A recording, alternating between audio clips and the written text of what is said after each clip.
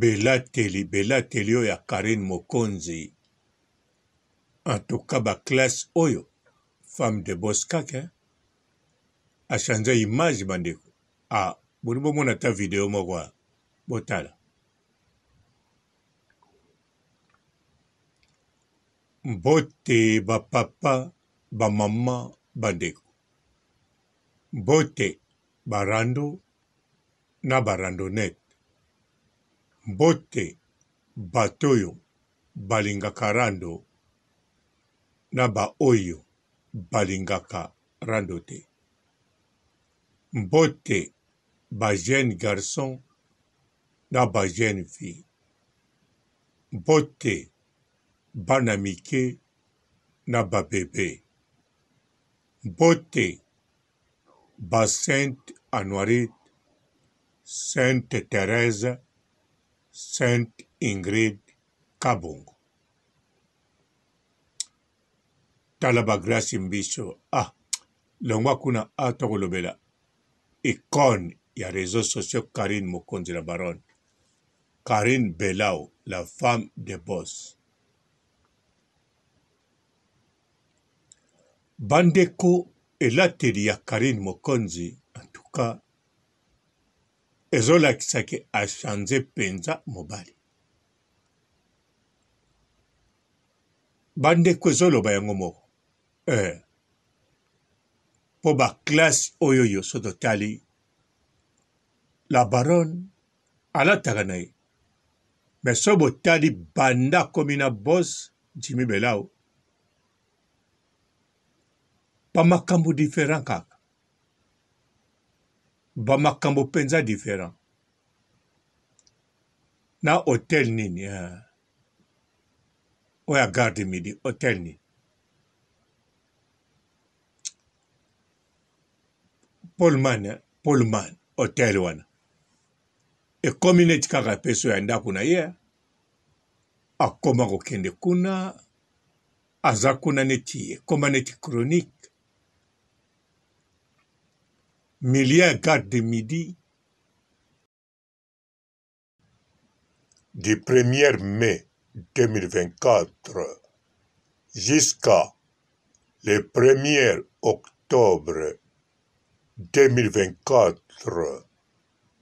Osombi kabelo, oke kobongisa kabelo, okatisi suki, okangisi suki, osombi ba accessoires, osombi ba produits de beaute, osombi ba creme na kombo ya papa robot leader. okozwa reduction totale chez Olga Cabello chez Olga Cabello number one. Akoma kotambola ba ndeko kotambola na milieu ya garde media pona ba zairois hein yani totambola na chateau rouge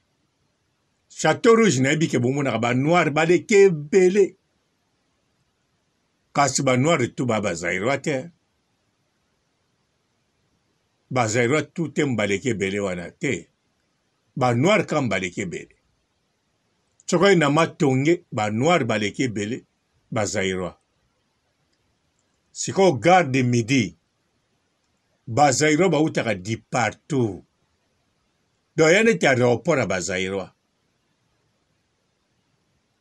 donc motu azokende na donc karine mokonzi akokende mpe na chateau rouge bamoni na bango mpe ye te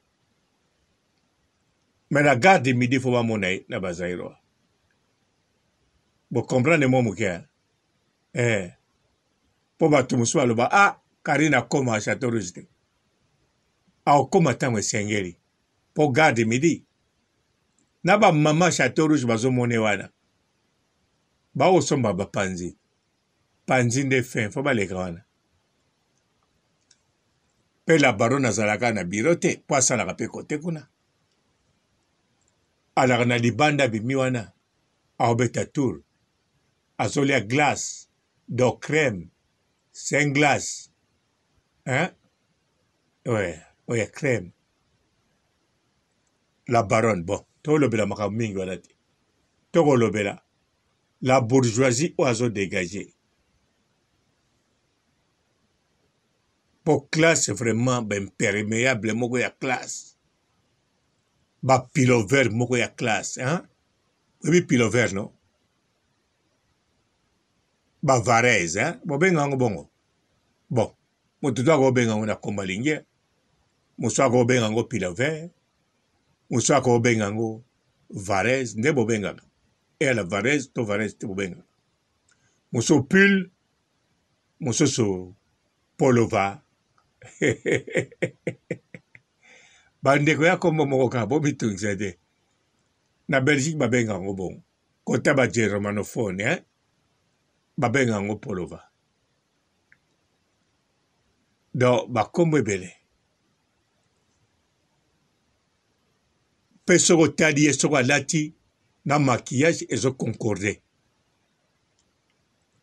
bamaquillage moko simple na modele yango la barone aza te ke a ah, bokote kuna na okota te mpo la marraine atatu mpe azotala nga Lokola nalingaka ye mingi, akokanisa nalobi mpo na ye. Yango natiki. Bandeko, la baronne boss Jimmy Belau moto alingi azalaka boye to ndenge nini?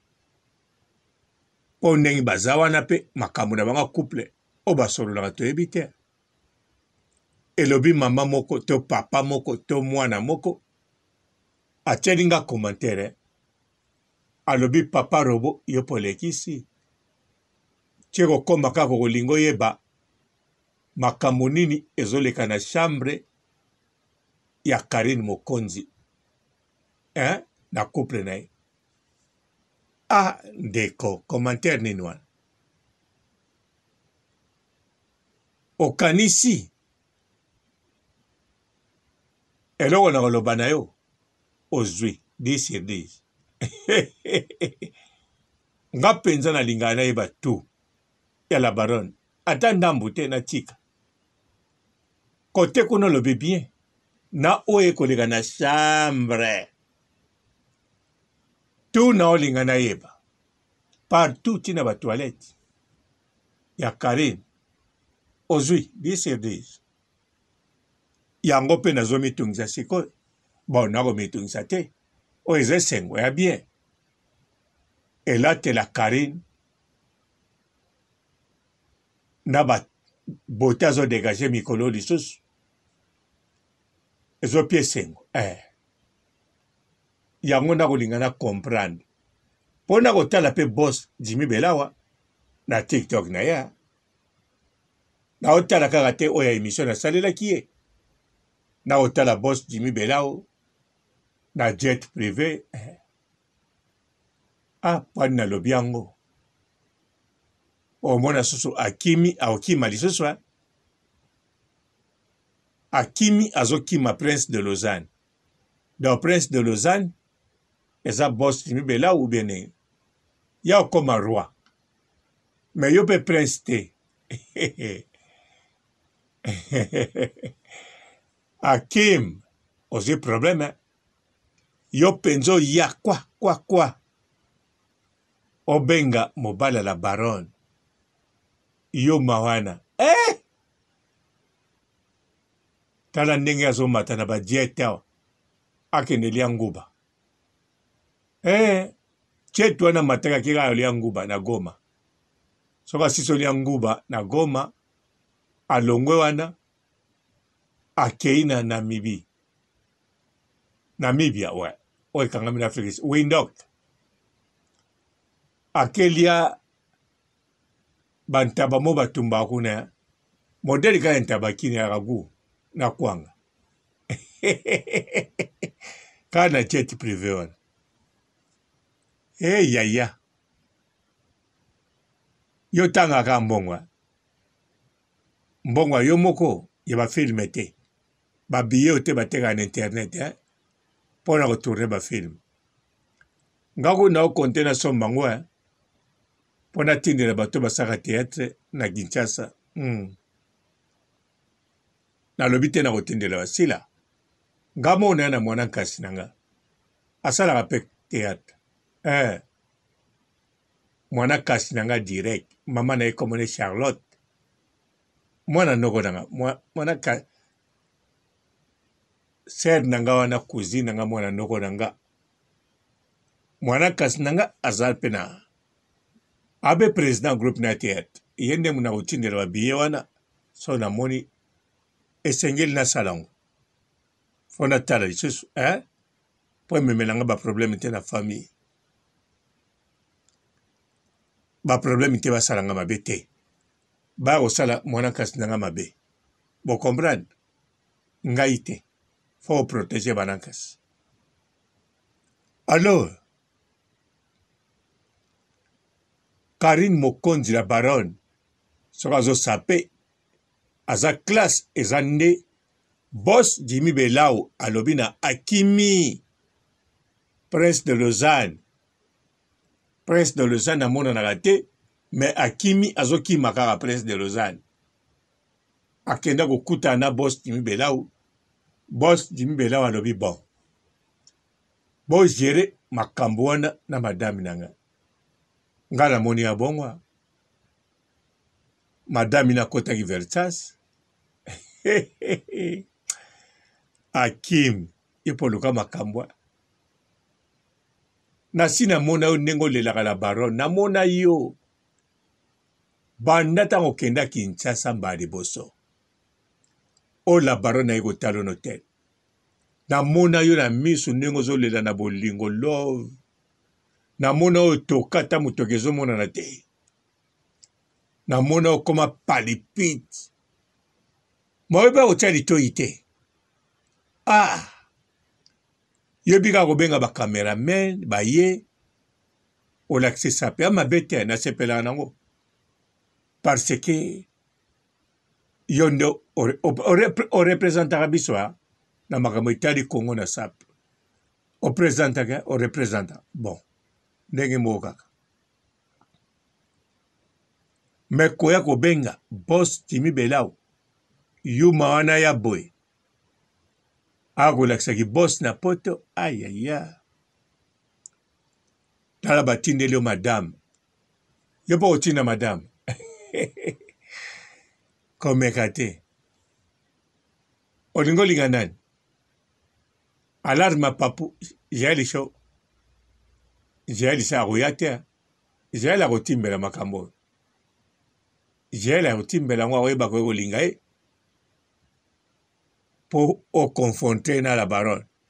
Alors Jael alinga confondre babenga ngo confronte eh ba langue mosusu ako loba wa oya ko kofo ah.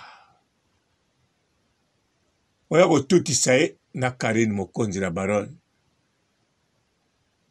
awa na posa teke batutana eh. na la baronne la baronne mpe ana posa te mpo Jael Show aza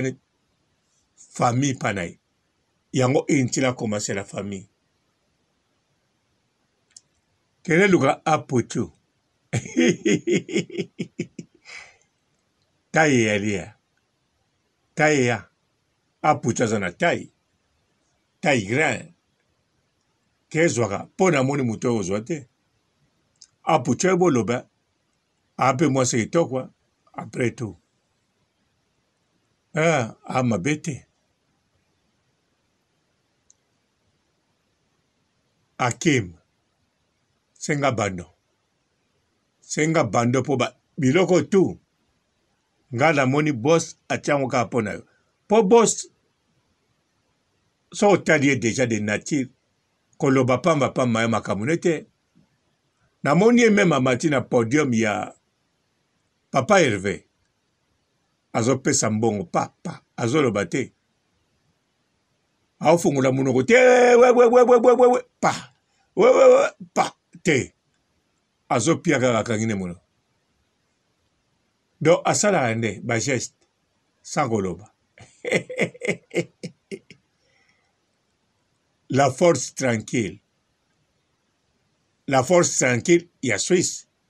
a masta na yo wana tata leki na nga junior kinsans a la force tranquille wana masta no ye te tolobela la force tranquille mosusu bos jimi bela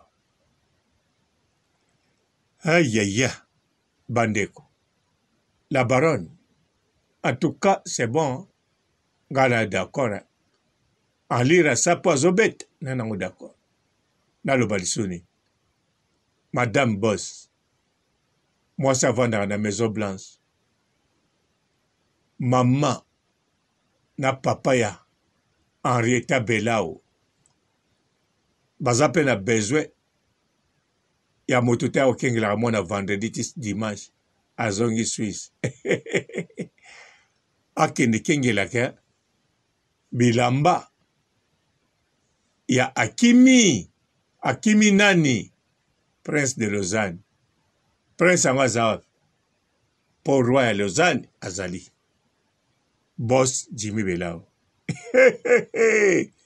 mokili yango antuka ezali mpenza elengi elengi gu du premier mai 2024 jusqu'à le premier octobre 2024 osombi kabelo oke kobongisa kabelo okatisi suki okangisi suki osombi ba accessoires, osombi ba produits de beaute, osombi ba crème na kombo ya papa robot leader, okozwa reduction totale chez Olga Cabello, chez Olga Cabello number one. Bonjour fidèle internaute de www.elengiakombatv. Bonjour, bonsoir, balandi nyonso ya elengi ya komba. Hein? Congolaise TV. Bote belé belé belé partout dans le monde, partout où vous êtes, partout où vous êtes, elengi ya combat TV vraiment. Bonjour, bonsoir, na ba abonné ba fan nyonso ya elengi ya combat congolais TV. Bonjour à mon boss, on a appelé ça vraiment un pandi. Bonjour à mon boss, JP Kiama.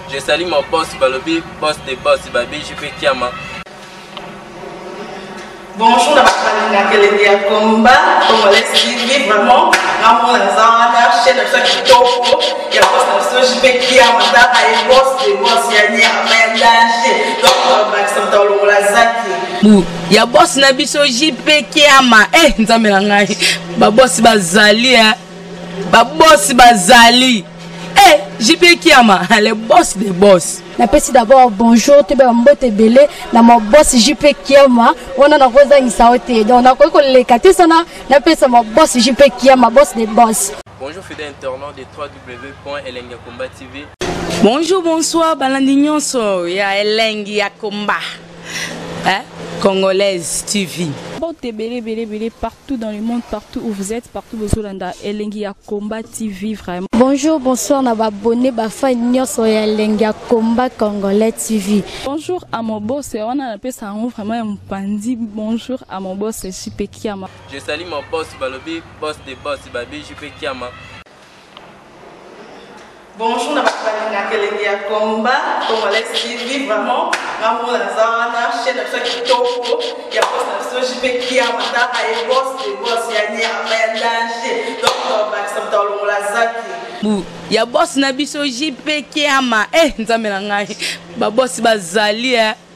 Ba boss bazali. Eh, JP Kiama, le boss des boss. napesi d'abord bonjour toyeba bambote ebele na mwa boss jp kiama wana nakozangisa yo te donc nakoki koleka te sana napesa mwa boss jp kiama boss de boss mbote ebele ebele ebele partout dans le monde partout où vous êtes partout bozolanda elengi ya Combat TV vraiment. Bonjour, bonsoir na ba abonné ba fan nyoso ya lengi ya combat congolais TV. Bonjour à mon boss, on a appelé ça on vraiment ya mpandi. Bonjour à mon boss JP Kiama. Je salue mon boss Balobi, boss des boss Babi JP Kiama.